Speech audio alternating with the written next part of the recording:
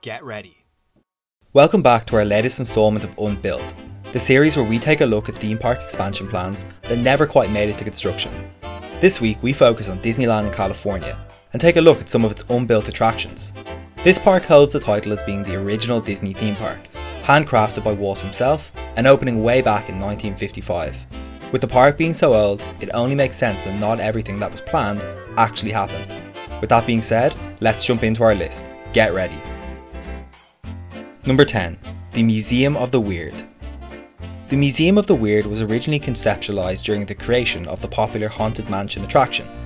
Imagineer Rolly Crump was the mastermind behind the idea, having designed a number of models and art pieces that were a lot more cultic than everything else that had been produced. Originally created for the Haunted Mansion, Rolly's creations really caught the eye of Walt. Walt felt that the models and concepts were so different that they deserved their own showcase. The resulting idea was the Museum of the Weird. Originally planned to be the mansion lobby, it was then said that it would be its own standalone walk-through attraction that would live opposite the mansion grounds. Sadly though, Walt's death meant the attraction was scrapped before it could even be built. Number 9. The Enchanted Snow Palace.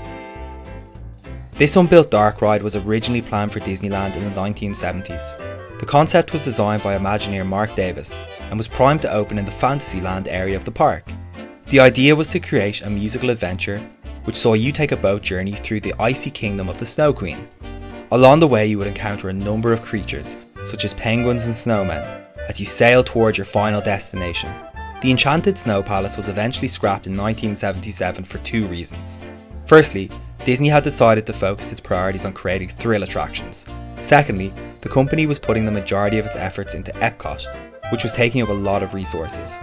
As some consolation, it is said that this attraction was the inspiration for the Frozen Ever After attraction, which can be found in the Norway Pavilion in Epcot, opening almost 40 years later in 2016. Number 8. Indiana Jones and the Lost Expedition Miniland. Technically, you could argue that this is not an attraction, but more of a complex. However, when it comes to the unbuilt history of Disneyland, it would be hard to leave this out. Indiana Jones and the Lost Expedition Miniland was originally planned for Adventureland in the 1980s.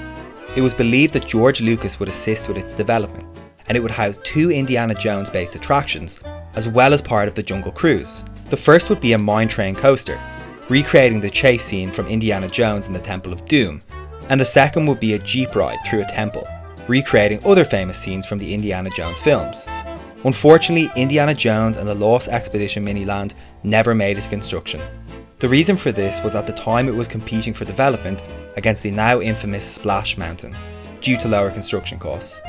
The Jeep ride did eventually become Indiana Jones Adventure in 1995 though, so it's not all doom and gloom.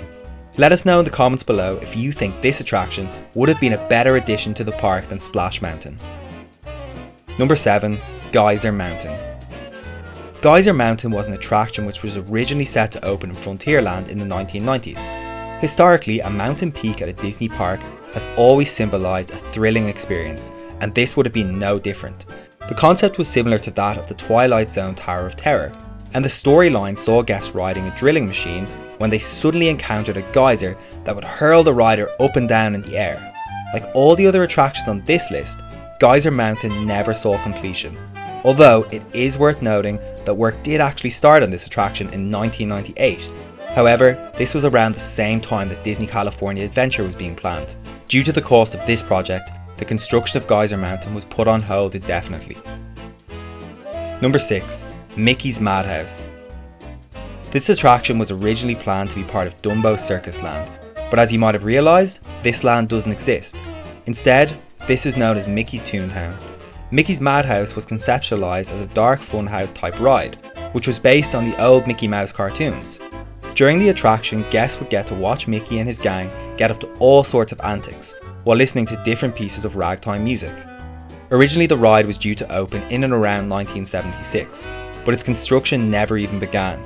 It is said that Mickey's Madhouse was part of the inspiration that saw the creation of the now popular Minnie and Mickey's Runaway Railway, which opened in Disney's Hollywood Studios and Walt Disney World in 2020, and is set to open in Disneyland in 2022.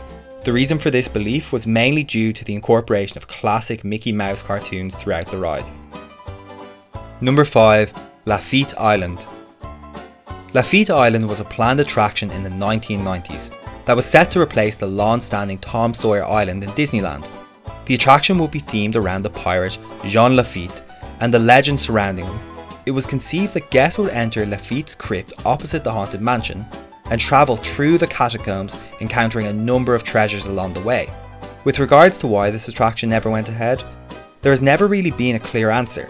However, based on the fact that the idea was considered around 1998, we can assume that the construction of Disney California Adventure at the time had a massive part to play. It's a sad fact that not even Disney has an unlimited budget when it comes to building attractions. Number 4. Critter Country 500 This is another dark ride attraction that never saw the light of day. In fact, Critter Country 500 was an idea that was rejected from the outset. The idea was originally conceived as a replacement for the Country Bear Jamboree, which was seeing a decline in popularity. The attraction was set to be themed as a soapbox derby race. In short, guests would ride in ramshackle cars, encountering some country bears along the way. The Imagineers who initially proposed this idea did so thinking it would allow them to preserve the country bear characters within the park. But when push came to shove, it was decided that it would be easier to build a copy of The Many Adventures of Winnie the Pooh, which opened in Magic Kingdom in 1999. This opened in Disneyland in 2003. Number 3. Lightkeepers. This is another attraction that was never built due to the land it was planned for never being built either. Lightkeeper is technically a show, but still relevant for this list, was themed around a godlike alien race who were the creators of light. Although never making it to stage, it is said that this concept did inspire the short-lived Light Magic Nighttime show. The land that Lightkeepers was set to occupy was Tomorrowland 2055. The initial proposal to revamp the current Tomorrowland came in the 1990s, when it was argued the area had become outdated. It was believed that American pop culture had evolved and the park needed to adapt. Overall though, we feel it would have been a shame to overhaul a land which Walt had such a hand in creating himself. Number 2 duck bumps. Unlike some of the other attractions in this list, Duck Bumps dates back to the earliest known history of Disneyland. The attraction was originally proposed for opening day way back in 1955. However, like so many other ideas and concepts, it was rejected before it could even get started. In terms of how this attraction would look, it was planned to be a Donald Duck themed bumper boat ride and was planned to reside in Fantasyland. The idea would be similar to bumper cars, but in boats in an area of water. Arrow Dynamics were the patent holders of the Bumper Boats attraction, and Walt Disney had hired them to develop Snow White's Adventures and Casey Jr.'s Circus Train. Following its rejection, the King Arthur Carousel was instead built in its place. It was likely decided against due to its hazardous nature. It has to be said that even if Duck Bumps did get the green light, there is a high chance it would not be around today. However, we can see the inspiration taken from this ride in a future attraction called Flying Saucers. This would later open in Tomorrowland in 1961, but wouldn't take place on water. Instead, the saucers would float on a cushion of air, similar to an air hockey game. It proved technically problematic and would later close in 1966 after just 5 years in operation. Number 1. Dumbo Circus. Our last unbuilt attraction on this list is Dumbo Circus. Dumbo is a Disney character which has had a major part to play in the history of Disneyland. You may remember earlier on in this list, we spoke about Mickey's Madhouse, an attraction which was planned for the never built Dumbo Circus Land. The Dumbo Circus attraction falls into this category as well. There's not a whole lot of information about how this attraction would have looked, however, it is said that it was to be a crazy adventure under the big top, which was led by Dumbo himself. It's interesting to think what may have been.